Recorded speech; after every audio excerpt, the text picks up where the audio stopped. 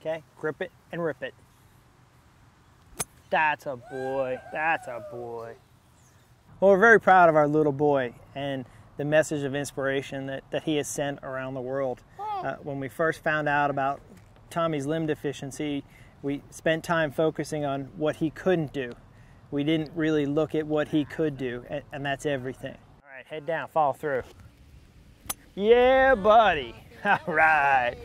That's crushed, buddy. Well, quite honestly, uh, on hole number two here at Frenchman's Reserve, he was closer to the pin than me, just one time.